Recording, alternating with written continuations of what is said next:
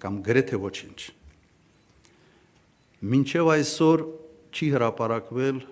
զոհվածների ամբողջական թիվը։ Սա ուղղակի խայտարակություն է։ Մենք պետք է ունենայինք հուշամատյան բոլոր մարդկանց անուն ազգանուններով,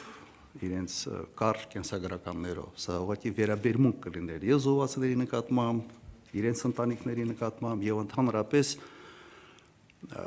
պետության պարտավորությունն էր դա անել, մինչ այսօր սա չկա եւ դրա պատճառով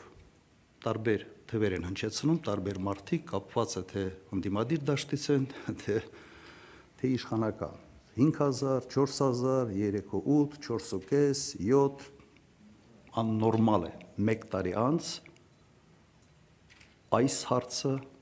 այսպիսի անորոշ անորոշ վիճակում թողնելը Փաստ է նաև, որ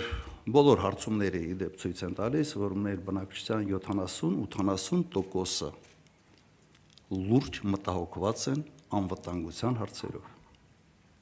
Չի կարող երկիրը նորմալ զարգանալ, եթե բնակչության 80%-ը մտածում է, որ ապրում է ոչ անվտանգ երկրում։ Սա նորմալ երևույթ չի եւ սա ուղղակի սրա համար պատասխանատվություն է կրում գործող իշխանությունը։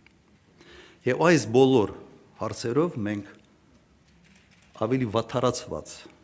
այսպես ձևով մտնում ենք հաջորդ տարի։ Բանակի բյուջեն